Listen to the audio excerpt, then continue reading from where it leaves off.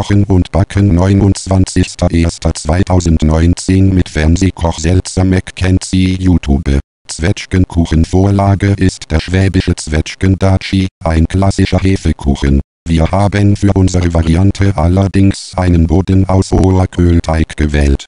Der geht schneller, ist leichter zu handhaben als ein Hefeteig und schmeckt genauso gut besonders wenn er frisch ist.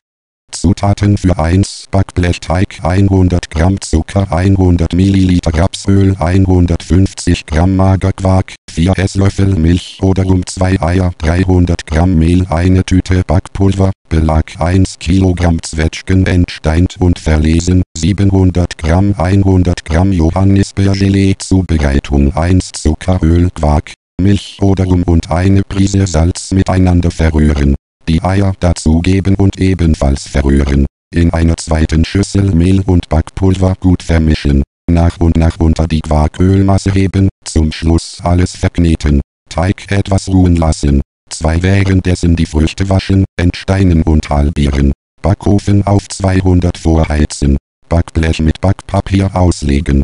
3. Den Teig über die gesamte Fläche ausrollen, an den Rändern etwa 1 cm hoch andrücken. Jetzt die Zwetschgenhälften dicht an dicht, mit dem Inneren der Frucht nach außen, auf dem Teig verteilen dabei leicht in den Teig hineindrücken. Zum Schluss Johannisbeergelee erwärmen und mit einem Backpinsel dünn über die Früchte streichen. Auf mittlerer Schiene etwa 30 Minuten backen.